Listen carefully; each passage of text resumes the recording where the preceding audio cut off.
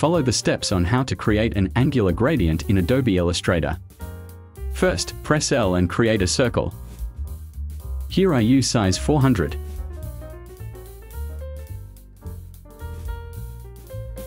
Remove the fill.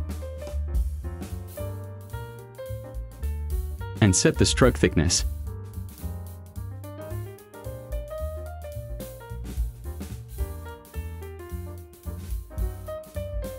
Next, prepare gradient panel. Make sure the stroke is on top. Then select basic gradient. Click this. Change this to white. Then add new colors gray and white alternately.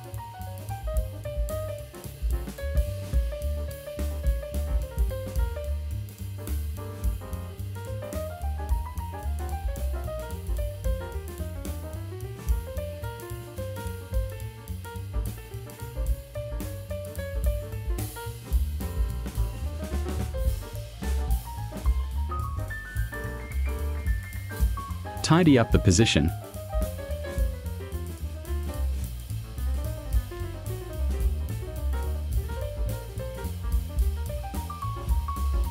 Finished. Okay. Support this channel by clicking like and leaving your best comments. Activate the notification bell to get the latest updates from this channel.